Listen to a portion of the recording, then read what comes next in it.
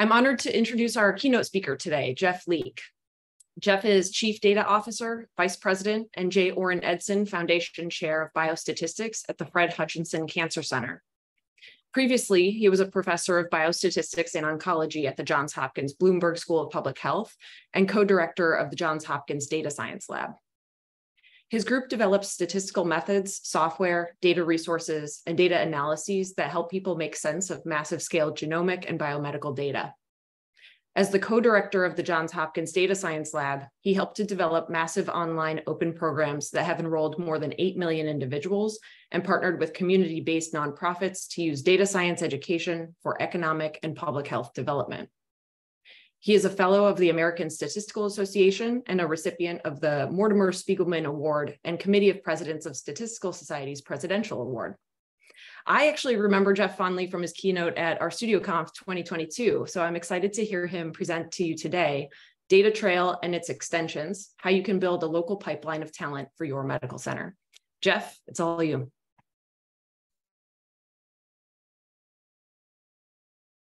Great, thank you very much. I really appreciate the intro and uh, really appreciate the invitation to speak here today. I'm going to share a screen and then if somebody can let me know with a thumbs up if it actually appears. Let me see. Good. Okay, great. All right, um, I'm very excited to talk to you here uh, about Data Trail, which is a project that's been a really personal passion project of mine for more than four or five years now, and um, it's something that I'm really excited about growing. And so uh, really eager to tell you about what we've been up to and really look for opportunities to collaborate and and build on what we've already started. And I think I was really inspired by Peter's introduction of showing something that they had just started working on and then it turning into something even better with the use of collaboration from the community. And I really hope that we can do the same sort of thing with Data Trail here. Um, we're at the early, what I still call the early phases of building this. And, and I think it would be an opp awesome opportunity to collaborate with all of you.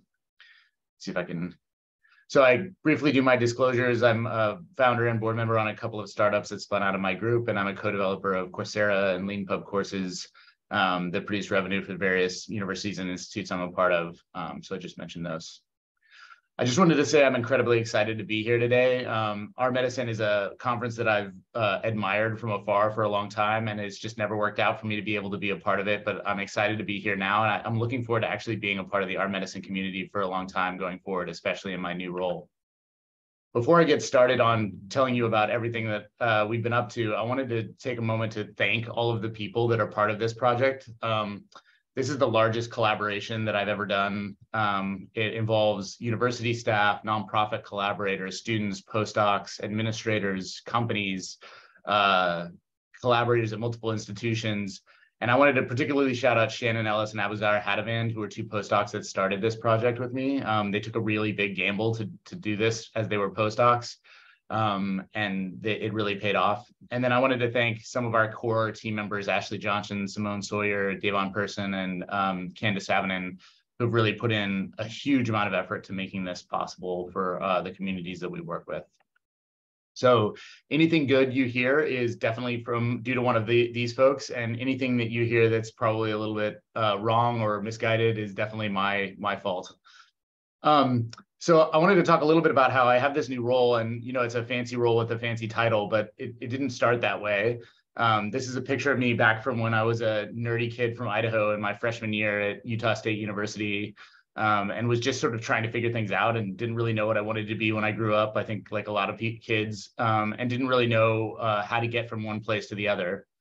And so how did it happen that I got from from where I was to where I am now? And I think it, it, this is an instructive exercise that was a thing that Shannon and Aboozar and I sat down and did right at the beginning when we were thinking about Data Trail, which is we wanted to sort of understand what are the steps or the or the components of being successful and becoming a data scientist or in your career. And so you have to know that data science or the area is a real thing you have to have the income security to be able to get the schooling that you need. You need access to an expensive computer.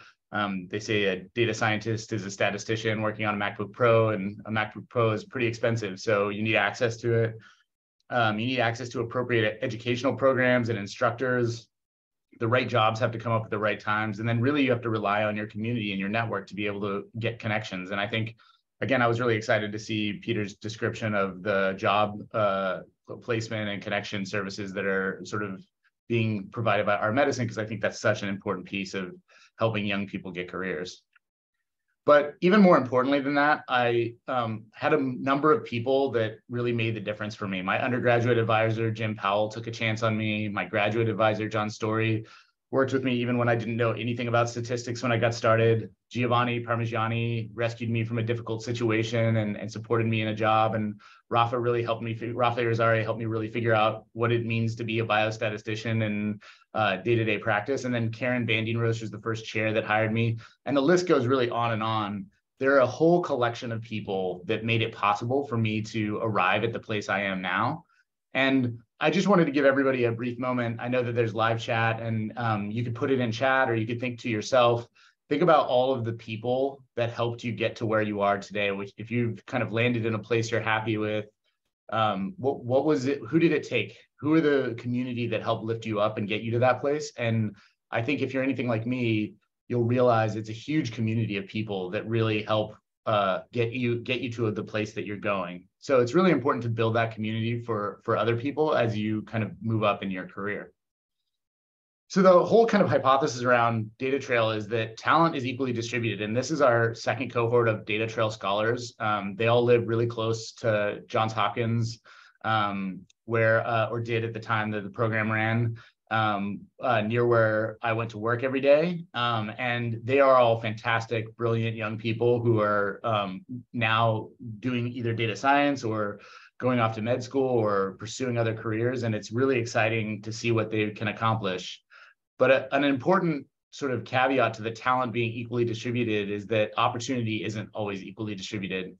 So this is data from the Economic Opportunity Atlas um, which was pr- produced by Raj Chetty and folks at Harvard. Um, and they looked at the data from census records and the data from IRS tax records. And they found that for a person that grew up in the neighborhood, I'm highlighting the neighborhood right around Johns Hopkins Bloomberg School, the median family income for a family of a person that grew up in this neighborhood is $18,000 in their mid 30s. So that's kind of a stunning lack of opportunity. And the red sort of indicates the scale of the lack of opportunity. I, I taken to calling these opportunity deserts. Um, and you find them all over the United States. Um, I've moved to a place, the Fred Hutch Cancer Center, which is in an incredibly wealthy part of Seattle. And in, despite that, there's still this opportunity desert for people that grew up in the neighborhood right around the Fred Hutch. Um, if you grew up in in this neighborhood, you again have a low median income um, at the age of 35. And it's not just the Hutch and it's not just Hopkins. Basically, every major medical center, you know, they're often placed in locations of, of need. And when they're placed in those locations, there's often opportunity deserts directly adjacent to those um, communities. Um, and so, uh, one of the sort of core reasons we actually started this was thinking about we have this group of talented young people in this opportunity desert and it's right next to a billion dollar medical center with tons of need for data every level of data professional. Can we make these two things match up and try to both help um, create economic opportunity but also solve an, an area of major need for medical centers and so this isn't just a, a problem of uh, economic inequality it's also a public health problem um, this is another incredible data set out of Raj's group in, at Harvard, and it shows on the x-axis income percentile, so how much money your parents made on a percentile basis. So zero is your parents made very little money, and 100 means your, your parents are very wealthy. And life expectancy is shown on the y-axis for uh, males and females, and you can see that th- this is real data but the linear correlation between income percentile and life expectancy is incredibly tight. Um, correlation doesn't imply causation, but this is such an incredibly compelling correlation that we wondered if you kind of move people from one income quartile to another income quartile, um, will that have a substantive impact on their, you know, not just their economic conditions, but their life expectancy and their health? So what does this have to do with ed- education? Um, education is still the best treatment we have for this sort of um, uh, economic and uh, opportunity inequality. Um, I'm showing you here a graph of the different uh, colleges around the United States. On the x-axis is uh, the access rate, so it's how hard you get it. What's the chance that you get into that college? if you're from the first quintile of income, so the bottom 20% of income. So if the colleges over here on the right are very easy to get into, and these are very hard if you have low uh, income. And on the y-axis is the success rate, is the chance you're in the top quintile of income after you leave that university. And so Johns Hopkins, where I used to work, but also lots of fancy universities are up in this corner where it's very hard to get into them. But once you get into them, you'll have a very high chance of having a high income at the end. Um, and there's this kind of L-shaped pattern, which is, you know, the, the ones that are harder to get into typically produce higher incomes after going to those universities. The really interesting thing about these data is that it shows that the income mobility is relatively independent of your parents' income. So on the x-axis here, I'm showing the parents' income quintile, uh, quantile. So it goes from um, very uh, poor to very wealthy. Um, and then on the y-axis is the quantile of the fraction of the kids in the very top quantile after they finish a university. And I, it, you know, this comes from the data that they collected. They labeled the universities in these various buckets, and you can see within a bucket, the curve it does go up a little bit to the right, but it's relatively flat. And so, what does that practically mean? It means no matter what quintile your parents' income came from, if you go to this university, you have a very reasonable chance of ending up in a, a pretty well-off situation. So they define something called a mobility rate, which is multiplying the fraction of parents with uh, income in the bottom quintile by the fraction of students that end up, given that they get into that university at the top quintile of income by the age of 34. And they sort of use this as a measure of how well does that college or university move people from the lowest quintile to the highest quintiles of income. And if you look at the top colleges, they tend to be large public schools with high access rates. Um, so you can get into them and they're very large. There's a lot of students that go to them. Um, and they tend to have re- really reasonable success rates. Um, but you, when you multiply these two things together, you get a mobility rate that's sort of around 10%, which is um, really good um, by, by national standards. But um, one of the things that's interesting about this is, you know, you have this huge collection of people, they're studying lots of different things. The chance of them all being very high income is, is relatively low. But if you pick specific areas where there's high income potential at the end, you could imagine increasing that mobility rate. And so data science is one area that we all know is a high growth and wage job category. And, and data science is actually means a lot of different things. I think that we're just at the beginning of defining the spectrum of what it means to be a data scientist, all the way from entry level data processing and, and data entry kind of uh, jobs that are require some thinking, but are just basic jobs, all the way up to very advanced machine learning and complicated modeling. And I think we need to fill that entire gap of, of jobs. And in particular, this is a, a, job growth category within the field of medicine. I know here it's true at the Fred Hutch here. It's definitely true um, at Hopkins where I was before that there is a always a shortage of people who can be sort of clinical data managers for groups, manage whether it's ma managing trials, whether it's managing data from large epidemiological studies. Um, there's a kind of increasing demand for clinical data managers um, across the entire biomedical enterprise. I'll come back to this in a minute we've seen this demand firsthand because we have developed at Johns Hopkins previously, and now we're doing it some here at the Fred Hutch as well. Massive online open data science programs that enrolled millions of people all over the country and world. Um, there's huge enrollment in these programs because there's a lot of interest in getting into these high growth um, job categories. Um, so uh, this is an incredible opportunity to leverage this education to uh, improve uh, mobility rate around the country.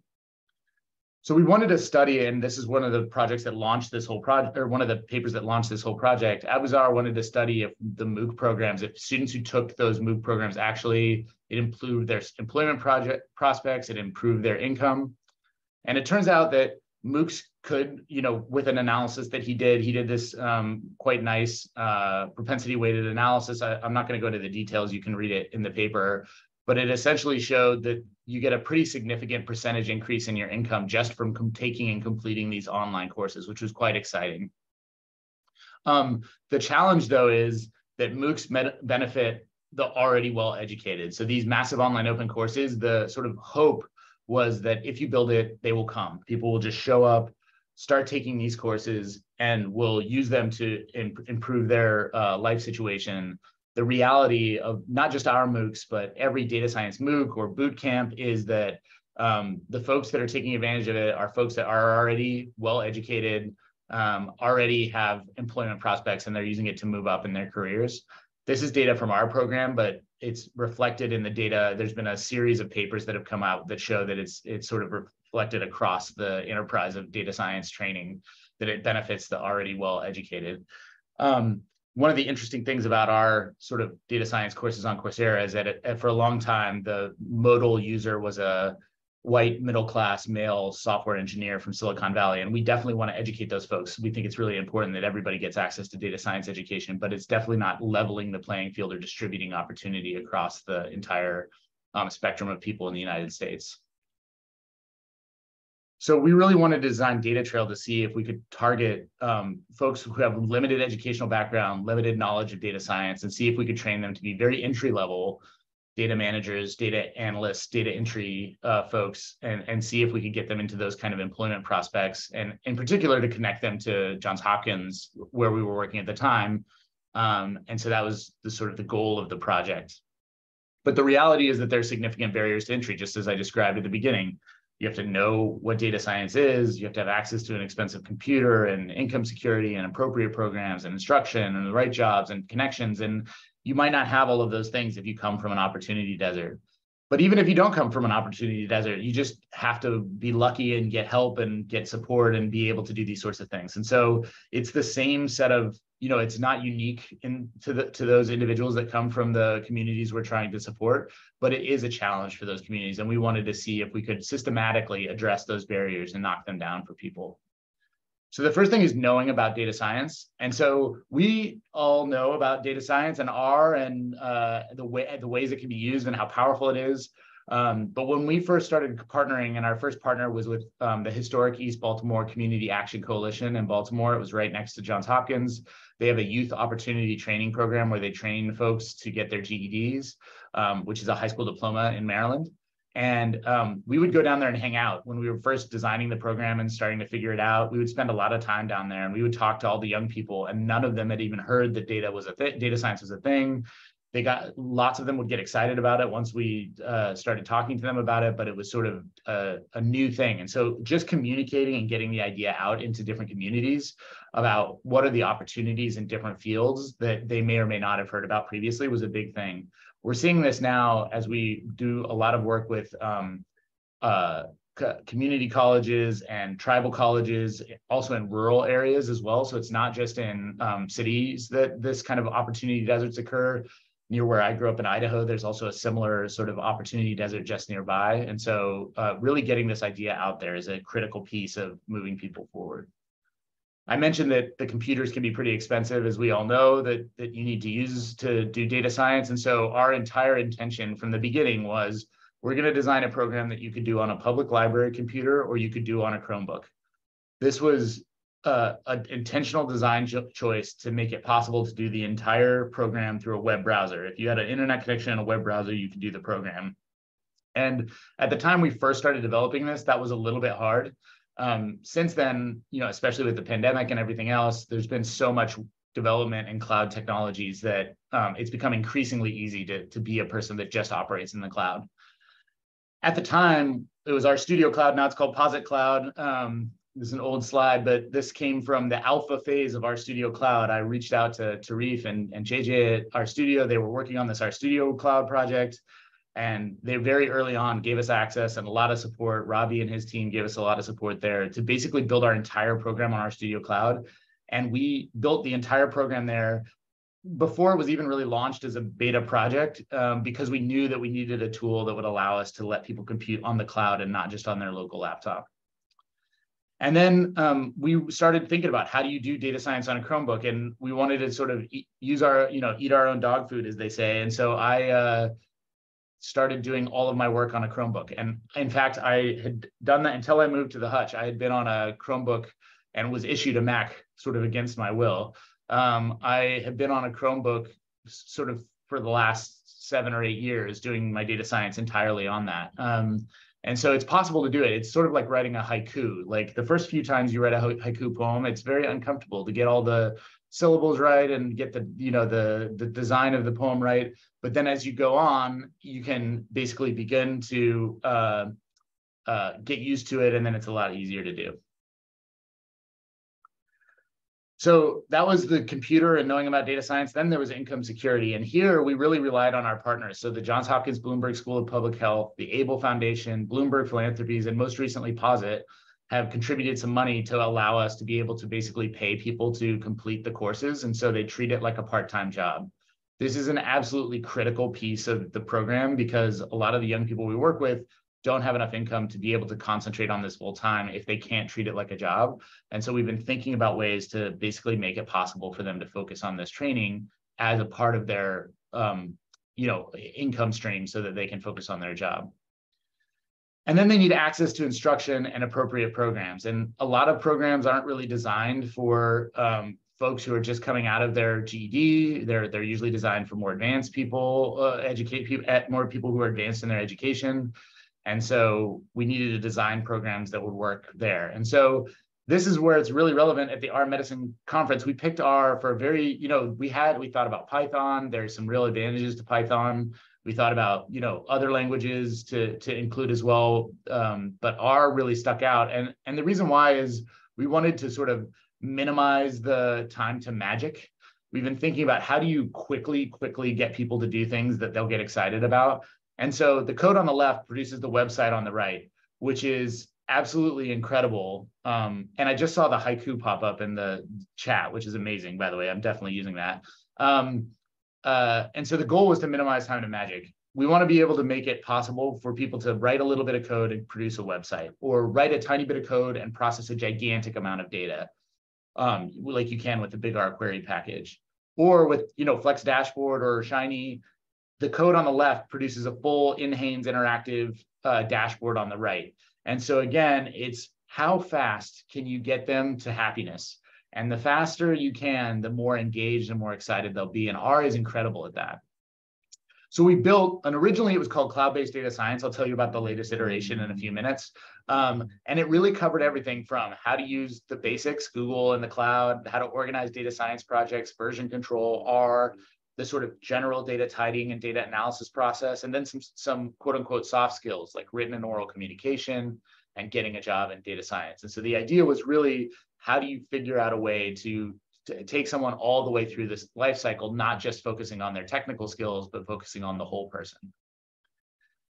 And then last was access to connections. We need to be able to get them connections to jobs. And I think this is again a place where the R community shines in an incredible way. Um, whether it's R-Ladies, the Bioconductor Group, R Medicine, Data Carpentry, OpenScapes, there's this incredible, supportive, friendly developer community. And I think um, you know Hadley and JJ and uh, Studio and now Posit really deserve a lot of credit too because they've sort of pioneered. And Bioconductor is also really big on this and I mean all these groups really. Data carpentry is incredible. So is R-Ladies. It supporting people and not making them feel dumb when they ask questions and not making them feel silly for wanting to learn how to do things. I've been a part of a lot of technological communities, and most of them aren't like that. And I think it's one of I, if there is a superpower of the R community, it's that it makes new users feel welcome and it makes them want to contribute. And that's like an unbelievable force multiplier across the entire uh, community. So I just really wanted to shout out all of you and everybody else who participates in this because it's really amazing. So um, we actually, I'm going to tell you about the pilot, but we've had about an 80% success rate at getting people through the training in the pilot. And then I'm going to tell you about some of the challenges we ran into as well, because the next step is trying to, you know, our original intention was to try to connect them to jobs, but there are some real challenges in making that happen. We've been working with Urban Alliance, and now we're going to be working with an, additional other partners to basically help identify job opportunities and make sure that people can take the training that we give them, which is only 14 weeks, it's really introductory. They really need a bunch of on the job training to really solidify those skills and start to adapt to the workplace. And so we um, have internships that we place people in immediately upon completing the program. So I'm going to tell you a little bit about um, our pilot project uh, that we started in Baltimore this is what it's felt like the entire time that we were doing this project. We've always been feeling like we're sort of fixing a bug in production as we're going, in the sense that you know there's always something on the train tracks, something we're trying to fix, and usually our solution is something like this, where it's sort of us trying to stop something from going off the rails right before it happens. Most of the time those are self-inflicted and most of the time they're my fault. And our team has been really good at doing this knocking the barriers down and getting people off the off the rails. And so it's been really fantastic to work with my team. Again you're going to hear about some mistakes we made and those were all my fault. And then you're going to hear about great things and those are all our team's good doing. So the way this worked was in 2018 shannon aboozar and i started thinking about this and we went down we started building a little bit of a data science program that might be focused on this sort of community, uh, the community of people who haven't really been uh, impl implicated or involved in our uh, in data science to start. In April, we had our first meeting with Yo and HEBCAC, and we were excited, and they were excited, and they said, "Can we start the program immediately? Like, can we start it today?" And we were like, "Well, we don't really have a program yet." And we managed to convince them to wait until May 21st for the learning to start. So that we started in April, the conversations and May 21st, we had to have a program ready for these young people to take. Mind you, that we were going to build this entire program and none of it existed yet at the time that we were talking to people. And so this was me immediately after our meeting with uh, HEBCAC, stressed, trying to figure out how we're going to possibly do this. And um, again, credit to this incredible team. The the content actually got built in time for us to run this program. And um, Shannon Ellis and Aboozar Hadavand were like by far the leaders on this and deserve huge amounts of credit for the like nights and weekends level effort they put in to make that happen. But all these folks contributed content and we basically developed these courses on GitHub. We developed them really openly and collaboratively. We had a whole sort of procedure that Shannon developed for moving courses along the sort of production cycle. Um, and we were able to sort of build the courses for the for the program. Oops, wait, what happened? I skipped to the wrong place. Sorry, everybody. Let me go back. I don't know what button I pushed. This is the problem with the Mac right here, everybody. So here we go. All right. So the challenge though is a lot of our courses are built on GitHub and a lot of our courses are built on modern open source technologies.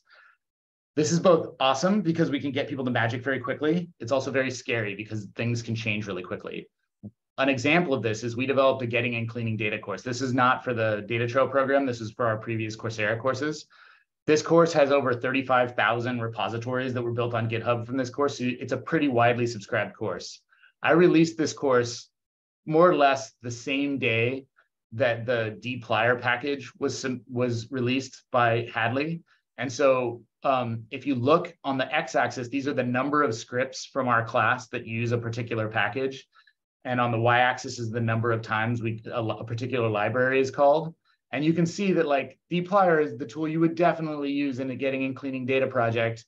And so our class was immediately obsolete like the minute we released it because Hadley released this dplyr package, which was like very stressful. And we had to redo the whole thing and also amazing because what Hadley released made everything that we were teaching people how to do the old hard way so much easier and so much better to do. And so um, it's really been an interesting exercise in trying to figure out ways to automate and speed up the development of classes. Um, and I'll tell you a little bit more about that work towards the end of the talk here today. So we wanted to build this, this program and we wanted to get it done for people, um, which we did. Um, and so then our pilot began on May 21st. And the first question that they asked us was, okay, how long is this program going to take for people to complete? Which is a totally reasonable question to ask, and to which we had absolutely no answer because we just built the program last week. And so we have no idea how long it's going to take people to complete the program. Um, we decided it was going to be a part-time program. It was going to do 20 hours. We were going to have them do 20 hours a week of work for which we could pay them. And we said, I think it's going to take about three months. That was a number that was totally made up. Um, and we had two pilot uh, folks that did the program with us, two young people. They were like astronauts landing on the moon. They had to deal with us updating the projects all the time and updating the courses all the time. They had to deal with us being the, our very first time teaching it to this kind of cohort of people. They had to deal with, I mean, just a series of nightmare scenarios. Um, and we had projected that they would finish by August 31st. Again, totally made up number. But it turned out it took until October 5th. A large fraction of that delay was we would get to the point where they were supposed to work on a course and we would realize that course was totally broken and we would have to like delay them a week while we like fixed the course and updated it. And so um, it ended up being about 16 weeks for them. Since we've settled on about 14 weeks for the program, so it wasn't a totally terrible estimate that we had, but um, it was sort of uh, a testament to the incredible talent of these two first young people um, who have since gone on to do some pretty incredible things. I'll talk about one of them here in a minute um, that went through this program to start. The challenge that we immediately ran into is we trying to get them jobs. And um, anybody who's ever written a job ad or seen a job ad will see, um, will know this story, which is the real responsibility of a data scientist is often to automate some horrible practice that takes everybody a million years to do by hand currently, or and then to write some ad hoc SQL or tidyverse code as needed to solve problems for people around the place. But the required experience listed will be like 15 years of deep learning experience in Python, a PhD thesis on Bayesian modeling, and you know 10 years of creating Hadoop clusters from scratch. And I think that's partially because we're still at the early stages of people understanding what data scientists do. And so they don't really know what experience to list. But the practical implication of this is that most people, most of the jobs that people might apply for or be interested in, they, they feel like they don't have the expertise or they don't have the required levels that will get them past the filters to get them into those jobs. Not only that, but we have a real um, legal challenge as well to the data scientists we're training. So um, I ended up learning a lot about legal uh, definitions of employment um, for this project, which is not a thing a biostatistician usually has to learn about. Um, and the main thing I learned about was the Fair Labor and Standards Act, which um, defines exempt and non-exempt roles. And by exempt, I mean exempt from paying people minimum wage. If you're a salaried worker, you're probably an exempt worker. Um, and so they can pay you a salary, but that means they're exempt from paying you overtime and minimum wage. And there are sort of six categories of people that can be uh, exempt from the law that sets the minimum wage. And so there are people that are managers, people that have advanced degrees, people that are uh, artists, people that are computer programmers. Um, and it turns out that data scientist doesn't quite meet the definition of any of the exemption categories um, unless they have a bachelor's degree. That then they qualify for the advanced degree uh, exemption. And so um, the folks that we're training have to be hourly employees. So there aren't a ton of data scientist jobs that are hourly employee jobs, including at the time there were like zero jobs that you could apply for at Johns Hopkins that were hourly, that were data scientist job. Even for entry level data entry data jobs, they were all exempt employees. And so universities couldn't hire them um, without some changes. And so we went and looked into this. We talked to many, many lawyers to try to figure out how do we actually design the program? And it turns out that what we needed to do is really work with employers to figure out a way to not work, not to, you know, bucket hole them into a particular, or buttonhole them into a particular exemption, but rather to um, figure out a way to create new kinds of jobs that are available to these people. So we were this close. And again, we're doing this all on the fly, and we have two people that are about to finish the program, and I don't have a job for them. So I did what any you know normal person would do, and I started a company. And so what I did was I reached out to my friend Jamie McGovern, who is the husband of Rebecca Nugent, who's a quite a friendly a friend of mine and a, a well-known statistician. She's the chair of the Carnegie Mellon Stats Department. They're really close family friends, and Jamie is a really well-known consultant. And so he founded this data science consulting company with me called Problem Forward Data Science. And we would take consulting work from a variety of different high profile clients around the country. And we, we would have most of the work done by consultants who we hired from this data science training program. So we could give them their first data science opportunity, and they were hourly employees with uh, overtime, and um, so that we could really focus on um, providing that first foot in the door opportunity for people while that was going on, we started working on the thing that we really wanted to do, which is get them jobs at Hopkins because Hopkins was right next door to where we were training people um, and has a lot more opportunity than I can generate in a little startup company. And so we worked for a year, and this is really credit to Ashley Johnson, who was our program administrator. She really moved this through the system, um, working closely with the HR department at Johns Hopkins. But they invented a whole new job code specifically for data scientists, programmer, and data specialists who are non-exempt employees, they're hourly employees, and they can work at any of the campuses around Johns Hopkins. This was a huge effort and a really important contribution from Ashley because it allowed us to start to hire our data analysts and data scientists at Johns Hopkins, and we now have hired several of them at Hopkins, which is really exciting. This template also provides a way for if you want to create such a job category at your institution, it's sort of a model and a template, and you can point at Hopkins as a place that's already done it um, if you want to try to create these kind of opportunities where you're at. So the interesting thing about this is we had to deal with data science problems and community um, uh, relationship building problems and course development problems and uh, HR problems, all the problems really.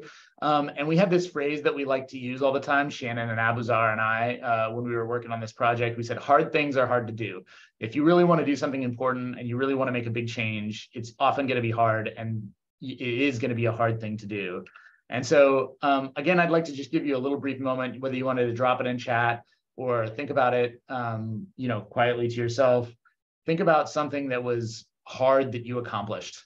Um, I think it's good to take a minute to reflect on the really hard things that you've done that have made a difference for people in the world, in particular in helping other people.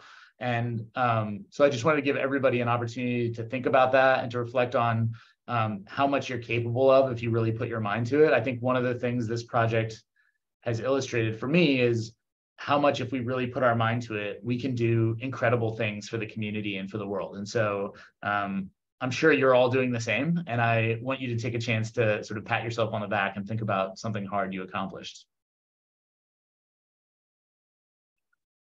Great. Um, I'm going to tell you a little bit about the impact that this program has had um, next. Um, and so the, the program has had a pretty significant um, impact on the young people that we worked with. And I think that that has been the most rewarding part of this. I mean, there's been all sorts of fun parts of it. But the first is that we hired, so using that job code that Ashley created, we were able to hire one of our, I think it was cohort three uh, graduates, Davon Person, uh, to be the curriculum lead for Data Trail. So he's currently working at Johns Hopkins Bloomberg School of Public Health. Um, he mentors students through our training program, and he helps design and build our curriculum with um, Candace Savonen. Um, so it's been really amazing to see the development of Davon. Um, we knew that he wanted to that he we wanted him to be the curriculum lead when we would have these parties at our house um, in Baltimore for all of the scholars and all of the staff, and we would have kind of a barbecue in our backyard. And Davon would come and he would spend the whole time hanging out with my son, teaching him how to play chess.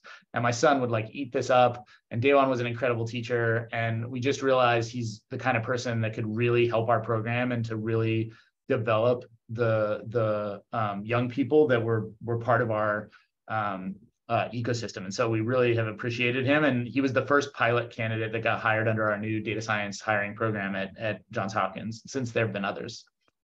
And then another incredible uh, outcome of this is one of the young people who was part of our very first cohort of Data Trail Scholars was working at that company problem forward that we founded. And one of the contracts that that company had was was to analyze data for hbo and when we were analyzing data for this hbo um, special um, they analyzed data about um, economic opportunity and particular the redlining that has happened historically in baltimore and how the historic redlining of communities in baltimore has carried through through 60 plus years and has set the um, geographic stage for um, housing prices and housing quality and housing support in the in the Baltimore area.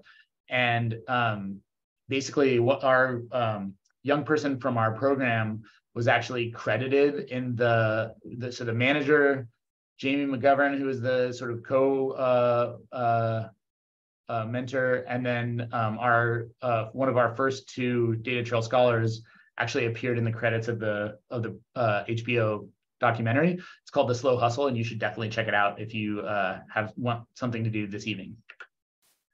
The other thing that was really great, and we're working on a paper that we're going to publish about this, but um, by Simone Sawyer, who is our community scholar advocate, is really talking to our young people and asking them about what the program meant to them and what it what it did and didn't do for them. Um, and one of the things that was really interesting is it said, is this is a quote from one of our scholars, it gave me a new direction and taught me that you can be different, go a different route than your parents, not always hanging on to what society tells you. You can follow your own protocol. So it just gave me a sense of like a new world or a new field and new life that I got to see. And it's been incredibly exciting to see our young people thrive that have come out of the program. Not all of them actually go on to be data scientists. Some of them go on to different jobs. Um, they go on to different careers. They're, you know, when you were 18, you probably didn't know exactly what you wanted to do. I know I didn't. Um, so sometimes they stay in the field and sometimes they don't. But I, regardless, it's been so fun to see how this program has helped be a stepping stone for them to whatever it is that they want to take on uh, post program. Um, it's just been a really fantastic, uh, pow powerful uh, component of the program to have this community of scholars that's been developing. We've learned some pretty important lessons as we were doing this. Um, it was definitely an exercise in running through walls and, and learning how to do things. Uh, you know, I'm a biostatistician by training. This was my first community-based project, so I had a lot to learn. And uh, the good news is I had really great mentors and teachers in our nonprofit partners who helped us learn how to do things well, but, but there were still a lot of things we had to learn. One of the things that was immediately apparent from the first cohort and has been true throughout the entire sort of experience of, of working on data trail has been that data science training is actually the easiest part. Um, so you know the, the young people that we're working with they're young people. They're like good with computers. They know how to they pick this stuff up fast. They're like often they end up teaching us about packages we've never heard about and all that sort of thing. Um, uh, but we really need to be able to support the whole person for them to be able to go through the program, especially when you're working with communities where there isn't a lot of economic opportunity and there's a lot of economic stressors and financial stressors and so forth. Um, you really need ways to support the whole person. And so whether that's providing laptops, whether it's creating connections to the community for mentors, whether it's paying them to complete courses so they can focus on it as a full-time job, whether it's providing online support and job search assistance. We've also had to realize that we needed to hire a community scholar advocate within our organization, and their whole job is just making sure the young people have what they need, that they're housed, that they have access to food, that they have access to income, that they have access to a bus pass when they need to get somewhere. Um, and we've been able to that, keep people in the program, I think, largely by virtue of not just thinking of it as a data science training program, but as a whole person support infrastructure to try to help them get through this training. And building trust takes a lot of time. So um, when we first started going down to, to meet with folks at the Yo Center, in fact, we actually approached 20 other nonprofits about whether we would whether they would work with us, whether they would uh, do this training program with us. And we were frequently turned away because we weren't, we hadn't built up any trust. We didn't have any credibility. It really took the HEBCAC folks taking a flyer on us for us to be able to work on this program. And the thing that we learned right from the start is that, you know, being there is the most important thing. And so we started to spend a lot of time down at the Historic East Baltimore Community Action Coalition and starting just being present, being there. All of our training didn't happen at Hopkins. We would like go to the HEBCAC to be able to train people so that we were like present there. And despite all of that, I think we built some trust over time, but I think the thing that has maximized the trust building has been Davon. So really it's about it, you know, this is a person that came from their community that they trust and know that they've he's been a, a member of their community and he can talk about his experience of going through the program getting a job, being a leader now for us. And I think that's produced a lot of value for our uh, or our relationship with not just the nonprofits, but also with the young people that we work with. It's really thinking about how do you develop those connections and how do you develop that relationship, um, which has been so incredibly meaningful and important for this project. And then we need advocates. So one of the things that's really interesting about this project is thinking about okay, you're going to take a young person, you're going to put them through a 14 week data science training program. As you all probably can imagine, given the shortness of that program and, and how little background they had in data science before we started, they're just at the very beginning of their data science career. They, they know a few things, they know a few packages, they can do a little bit of work, but they're not fully formed yet. You know, they're still er, learning on the job. And so, what does that mean? It means we need to identify supportive uh, employment opportunities where the mentors at those employment opportunities understand what kind of community we're working with, understand that this is the beginning of a journey, think of it as a long-term investment in that employee instead of a short-term return. Um, and that's taken a lot of work and also a lot of work to work with organizations to help them understand what it is that you need to do when you're trying to hire people from these diverse communities, from these economic opportunity deserts.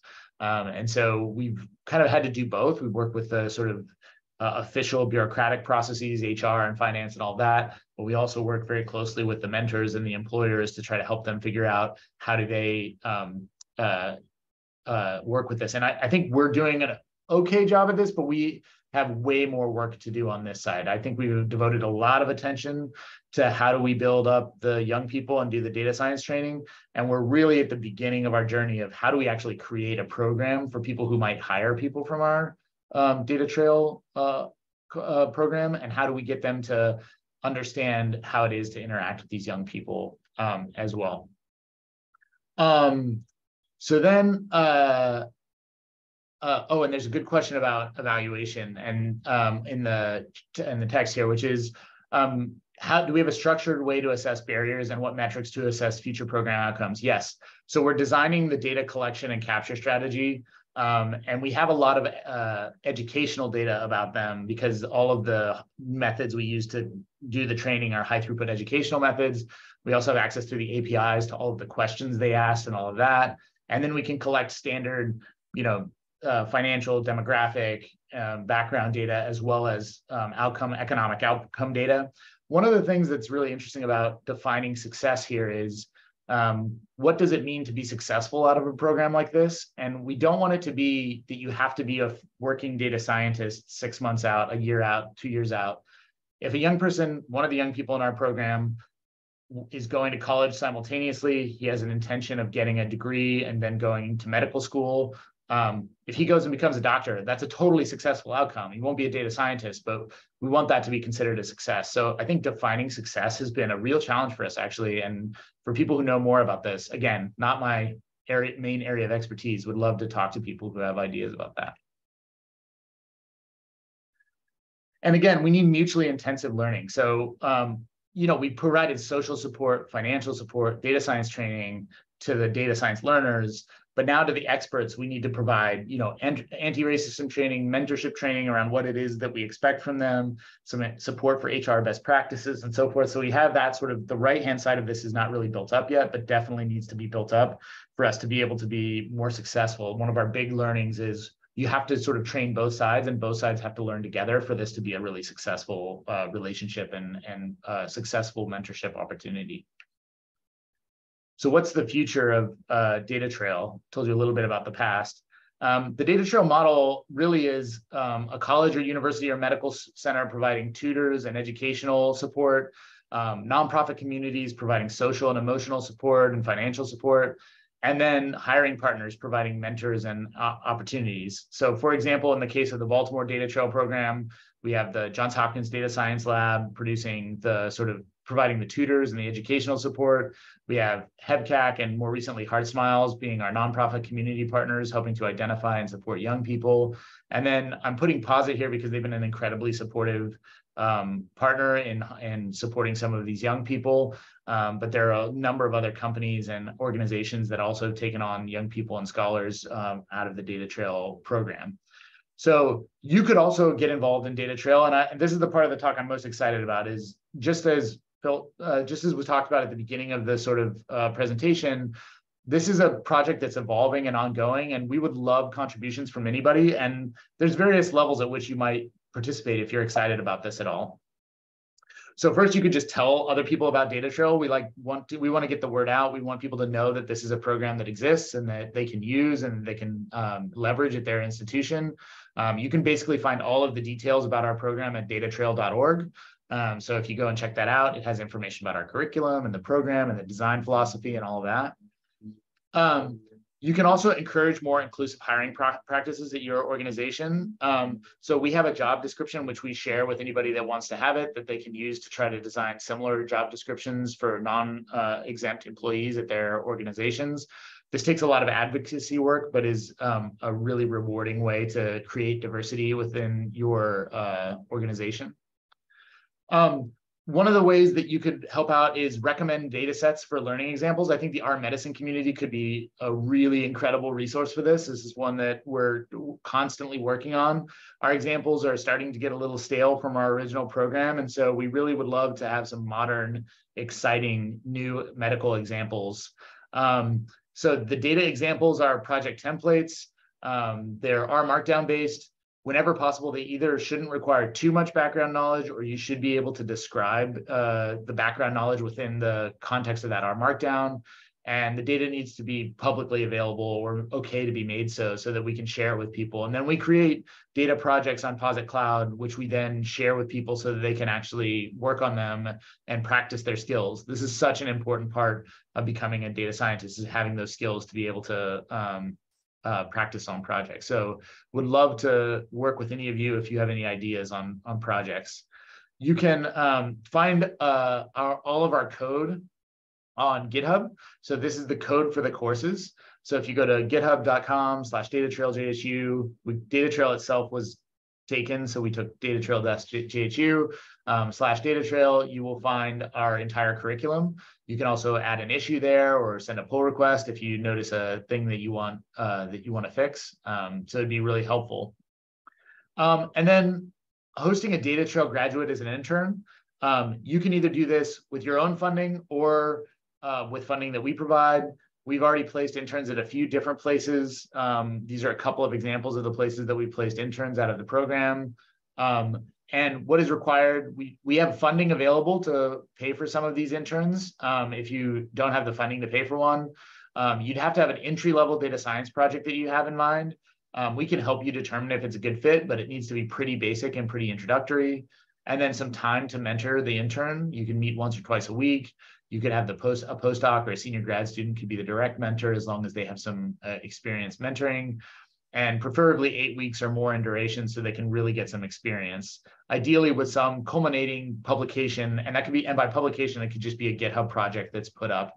Um, if you have any interest in this at all, you can email me, jtleek at fredhutch.org, or Candace Savonen at uh, her email is csavonen at fredhutch.org. She's sort of leading a lot of the data science uh, data trail program at this point with me from the Fred Hutch side, um, and could uh, connect you to potential projects that you might uh, do if you were hosting an intern.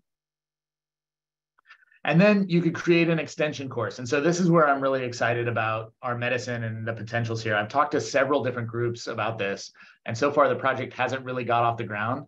So this is me um, doing a, a, you know, uh, throwing this out into the world and hoping the universe will uh, respond. We would really love to tailor an add-on course or an elective course that's focused on clinical data management. Um, you can find all of our content online of what's on our original program here at this URL. Um, and um, I can also paste it. Somebody can paste it in the chat chat maybe for me if that if they uh, get a chance. Um, and so you can go read what they actually learned uh, previously and what they would have ha already had experience in but we don't really focus on clinical data. We don't focus on REDCap. We don't focus on any of the things that a clinical data manager might be interested in. But we would really love to add an add-on course so we can focus on that sort of area of data science. Um, and if anybody's even remotely interested in collaborating, I hope they will reach out to me about that.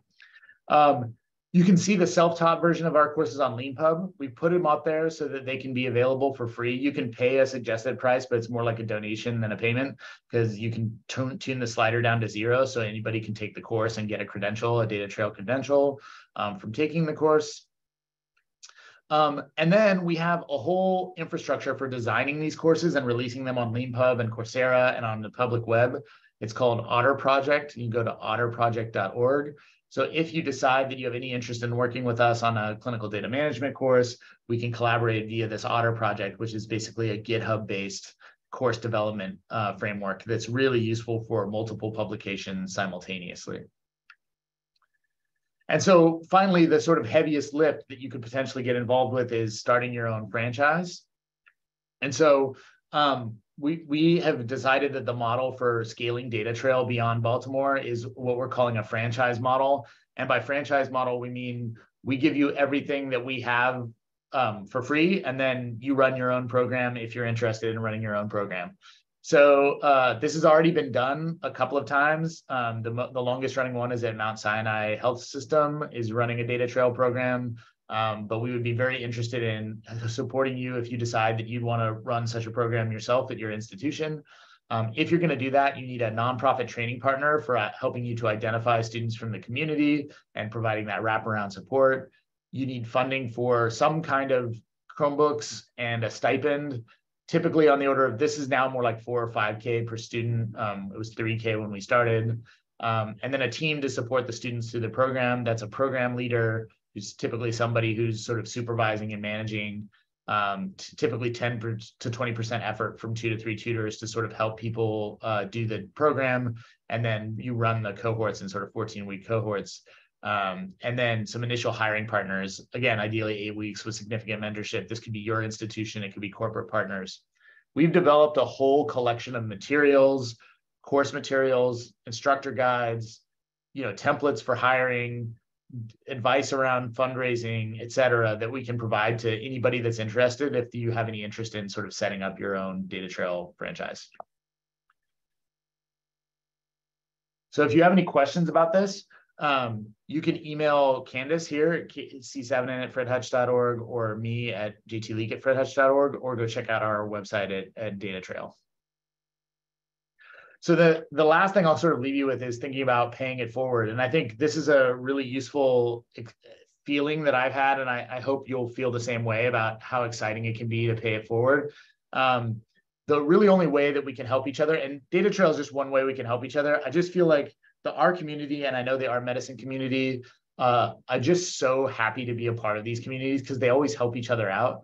And sometimes it's helping each other out on something like Data Trail, which is a big ongoing project. Sometimes it's just helping each other with a little bit of code. Um, and I think, or mentoring or bring, or helping pull up somebody that's behind them on the ladder. Um, and I think, uh, I hope that you will uh, continue to do that because I love being a part of this community that you're all creating, and I want to continue to be uh, a member of this community. I just wanted to highlight a quote from my advisor, Jim Powell. I, he was my undergrad advisor and I was a goofy kid from Idaho who had no idea what he wanted to do. And, and Jim took me on and helped me get involved in a couple of research projects. And honestly, I really probably wouldn't have had a career that I've had without Jim's advice. Um, and I emailed him after I finished. Um, actually, it was like right after I won this big stats award. I sent an email to Jim and I was like, just kind of explained how grateful I was for everything that he gave me and and every all the support he gave me and like how he had no reason to do it other than just being nice and just being a person that likes to help other people. And he wrote back, mentorship is a debt you don't pay off, you pay it forward. And then he said, thanks for helping me pay off my karmic debt. And so I feel like I'm paying off karmic debt to all the people that uh, helped me along the way. And I know we thought about those people that helped you along the way earlier today. And think about that karmic debt. And I hope that you'll continue to be the amazing supportive community of people that helps others that you have been this whole time. And there's almost nothing more rewarding than paying it forward and helping other people to be successful, especially exciting young people who know a lot more than you do and will figure things out you won't be able to figure out. With that, I'll just thank you very much for your attention and happy to take any questions that you might have. Thanks very much. Excellent. Thank you so much, Jeff. We have some questions that came in through the chat, and we'll start with Jeff Curtis saying this is a tremendous effort. How do you screen people for the program who are serious and will be committed? Some of the typical achievement metrics used for employment evaluation and, and in education may not apply. Yeah, that's an absolutely fantastic question. So the way we've done it is so we're doing scalable education and really non-scalable uh, community effort work. And so on the education side, we put everything online. We put, you know, we run thousands of people through these courses. But for this program, we work closely with nonprofit partners who have been part of the, the, the young people's training throughout the entire process, and they actually recommend people. So um, rather than having one metric or one screening criteria, which we have found excludes people, like maybe they're bad at testing or maybe they, you know, get anxiety. And so we but have found that the best way to identify young people who are committed and will show up is to um, work with the nonprofit partners who've worked with them for years and can easily identify who's going to show up and who's not going to show up, who's going to work hard and who's not going to work hard. So it's, um, I wish I could say it was real quantitative, but it's more, um, you know, uh, deep partnership with the nonprofit partners, relying on their expertise really. Excellent, thank you. A question from Hannah Hill. Um, do graduates of the Data Trail course receive a certification? Yes, they do. They they receive a certification um, on LeanPub, which is a massive online open course provider. Um, the original CBDS program has a Johns Hopkins logo on it. We're working on getting data trail so it has a little Johns Hopkins logo on it. It's not an official Johns Hopkins credential. It's a Johns Hopkins massive online open course credential, which is a different thing. But they do get a credential that's like a diploma that comes out of that. And it's the same one that anybody would get if they took the program for free online by themselves. So that's one interesting design choice that we made is we didn't design a program that only these young people take literally thousands of people have taken these these training programs and gotten these same credentials and it would be indistinguishable whether they went through our training program or whether they did it themselves online. And so we think that improves the value of the credential because it means there are lots of other people software developers who've taken the training program and have that credential and then also our young people and it sort of elevates the value of the of the credential. So yeah they get a credential. It's not a full like university degree one of the things we're working on with another project, we, we work on something called the Genomic Data Science Community Network, and I'll drop that in the chat here, the URL for that. Um, and this is a group of community colleges, HBCUs, tribal colleges, um, who are folk and their faculty at all those places that are focused on data science education. And we've been talking a lot, especially to the community community college groups about creating stackable credentials. So where you could get some community college credit for having completed the DataTrail program, which would allow them to shorten their time to degree. And, and we do really think that more education is necessary for a lot of our young people. And so how do we shorten that and reduce costs for them by having them get the DataTrail program? So that's future work too, lots of future work.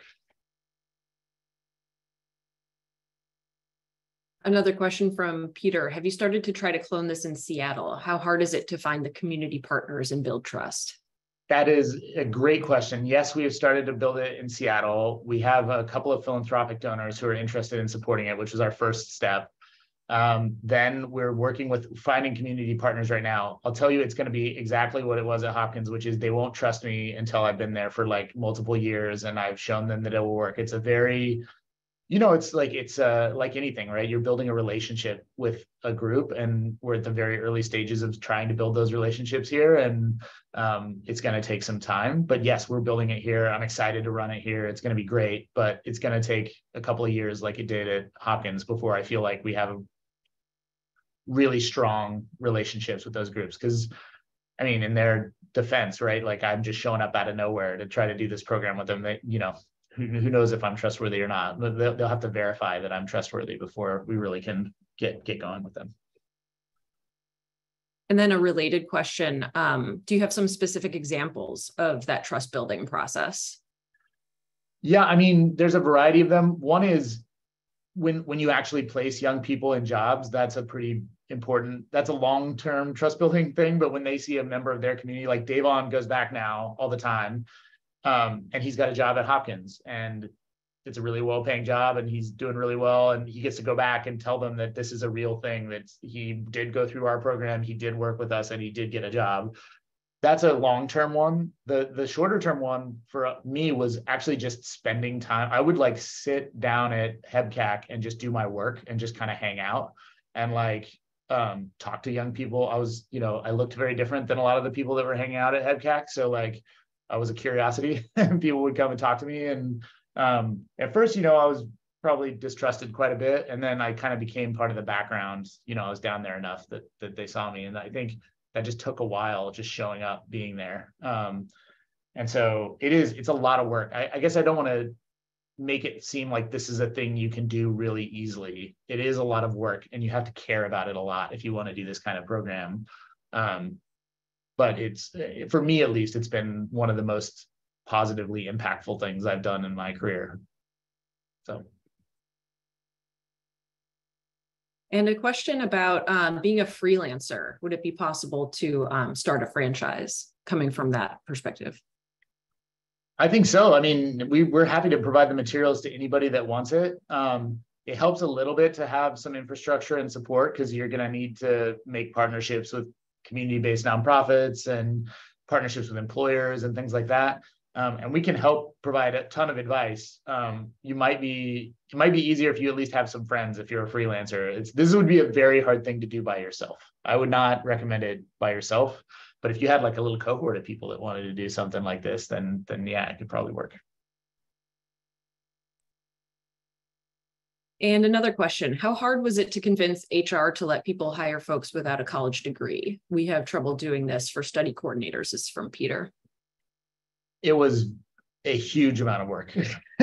that was probably one of the hardest things in this whole project. I, I said that as kind of a one slide in many, but that was a, Ashley spent a year talking to doing meetings after meetings after meetings and like showing evidence and you know building the job code for them and all this kind of stuff. So um, it was a non-trivial operation.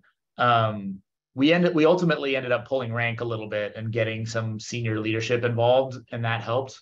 Um, but the hr department actually ended up being quite supportive in the end. So it was it, first it was a little frustrating but once we got over that hop hump it was actually they ended up being a real collaborator with us. Um, so if you can find your people in hr that can help you out. And we have a the the one thing that's an advantage is now we have a job code that's officially listed as a Johns Hopkins job code that has a no degree requirement, and it might be useful. We had to point to other institutions where things like this existed, and so it might be useful for you to point to Hopkins and say this exists there as a way of making inroads um, with your HR department. But yeah, that's another. It just takes work to to make it happen. Good question, on Peter. And uh, we'll float this one last question in the interest of time um, from Robbie Nuroko um, in the Q&A. Thank you so much for the talk. My name is Robbie from Ghana. I want to find out, is the program open for someone like me to join? Also, I had my undergraduate studies in nutrition and biochem, and I've been looking for graduate studies opportunities. I'm a very good in interning as a data uh, analyst currently. One barrier I face in my applications is that I have to have a statistics or mathematics background to pursue bio data science related course how can I get around this? Yeah, so I mean, um, this is a fantastic question, and I really appreciate it. And so our program, the, the the full wraparound program that we run, currently only runs in cities in the U.S. That we are talking to a, a group in Nigeria about running it, and a group in Ghana about running it, but that hasn't actually gotten off the ground yet.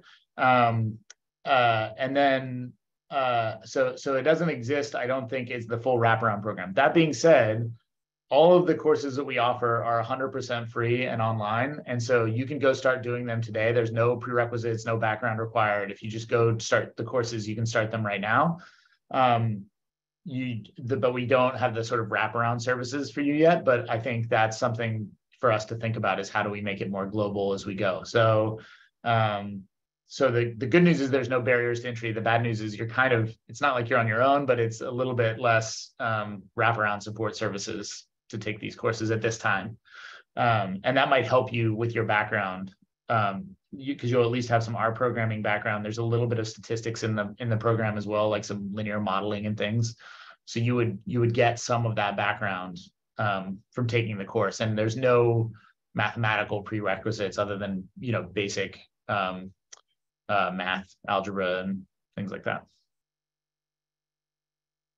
Excellent. Jeff, thank you so much again. Um, fantastic talk. If there are additional questions, please feel free to continue the discussion in the chat, but we'll go ahead and um, move on to our next speaker.